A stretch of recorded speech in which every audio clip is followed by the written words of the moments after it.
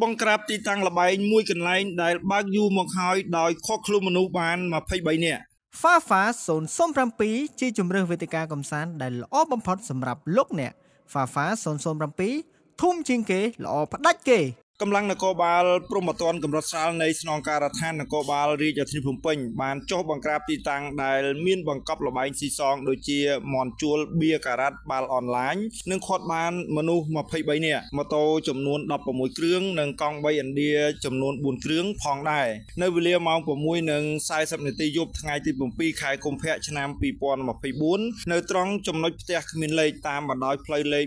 144កែងផ្លូវ15សង្កាត់ផ្សារកណ្ដាលទី1 1ខណ្ឌដូនពេញរាជធានីភ្នំពេញប្រភពព័ត៌មានពីមន្ត្រីនគរបាលដែលចុះប្រតិបត្តិការបានឲ្យដឹងថាក្រោយទទួលបានសេចក្តីរាយការណ៍និងសំណូមពរពីប្រជាពលរដ្ឋថាទីតាំងនេះមានបង្កប់លបែងស៊ីសងគ្រប់ប្រភេទបានប្រមូលផ្ដុំមនុស្សក្មេងចាស់ទាំងយប់ទាំងថ្ងៃបង្កភាពអសន្តិសុខធ្វើឲ្យប្រជាពលរដ្ឋដែលមានលំនៅឋានក្បែរនោះមានការភ័យខ្លាចពីសំណាក់ក្រុមអ្នកញៀនលបែងទាំងនោះទៅកម្លាំងជំនាញព្រំប្រទានបានធ្វើការស្រាវជ្រាវរហូតឈានដល់ការចុះបង្ក្រាបនិងខកខ្លួនមនុស្សនិងដកហូតវត្ថុតាងជាក់ស្ដែងតែម្ដងប្រជាពលរដ្ឋដែលមានលំនៅឋាននៅក្បែរទីតាំងបានឲ្យដឹងថាទីតាំងខាងលើនេះគឺបើកបង្កប់លបែងស៊ីសងយូរណាស់មកហើយដែលស្ថិតនៅទួលមុខនិងសង្កាត់ផ្សារកណ្ដាលមួយ តែម្ដងដោយគ្មានខ្លាចញញើតអាញាធរនោះឡើយបច្ចុប្បន្នមនុស្សចំនួន23នាក់រួមទាំងម៉ូតូកង់3ឥណ្ឌា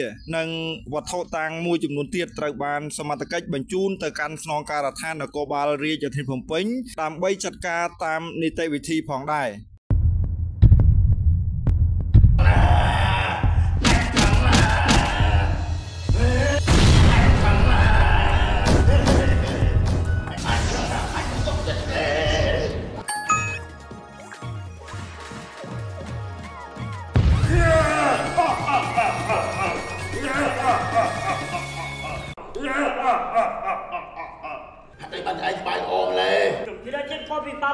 7ដងស្រួលដាក់ស្រួលខ្ញុំលេងបាច់ឆ្នាំបាត់សុវត្ថិភាពគ្មានហានិភ័យទេដាក់5ដុល្លារឆ្នាំ5ដុល្លារខ្ញុំចាំតែមួយទៅតាមទៅសម្រាប់ការដកប្រាក់បានលុយពុតក៏កើមែនណាយ៉ាហ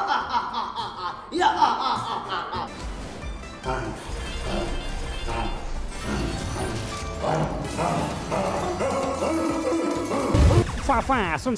007ធំជាងខ្លាំងជាងអែមជាងកម្លាំងខ្លាំងជាងយក្សា